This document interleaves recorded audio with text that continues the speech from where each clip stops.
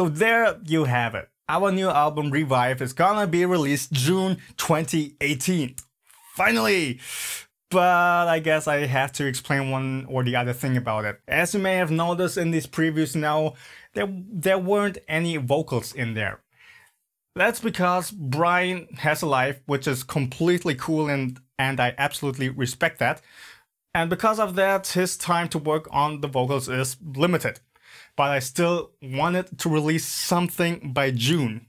And our next best option was to release the instrumental. And then when he finished all the vocal takes, what we are, or what I'm actually going to do is I'm going to mix this whole album from scratch.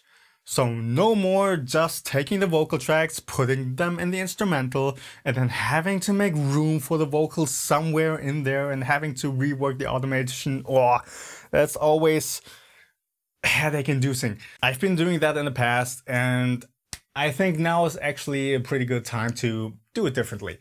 So that means when the vocals edition comes out, then you don't just have the vocals to look forward to, which by the way, you really should look forward to. The few songs that are that already have vocals sound so much more amazing with those vocals. Oh my god, you're gonna love it.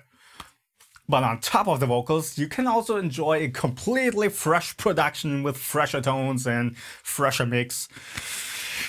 So yeah, it's that's gonna be awesome. I'm looking forward to that one, definitely. Until then, I hope you will enjoy this instrumental release for now. Um, also about the album cover, I didn't really have um, any spare money to hire someone to make a cover, so I had to quickly throw that together.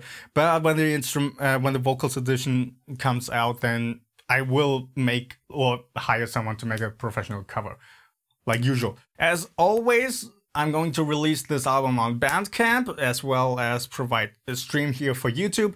I'm not quite sure about any other streaming services. I was thinking of getting back into DistroKid, but unfortunately it still only works via credit card and I do not have a credit card and I don't really want to ask someone uh, to lend me the credit card numbers. Uh, uh, I like to do stuff via PayPal. Why can't DistroKid just implement PayPal? Come on.